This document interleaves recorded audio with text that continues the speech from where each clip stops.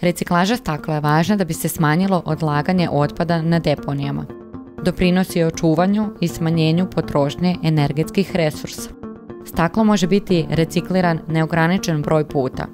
Od velike važnosti za reciklažu stakla je sortiranje po boji.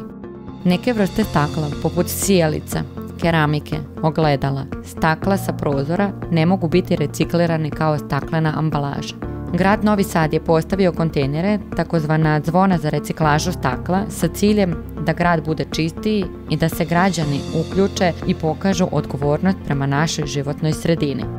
Na našu adresu Čirpanova 25 u 2022. godine najviše je stiglo stakla u maju mesecu. 6 tona stakla za godinu dana je stiglo na jedno mesto, a to je naša adresa Čirpanova 25.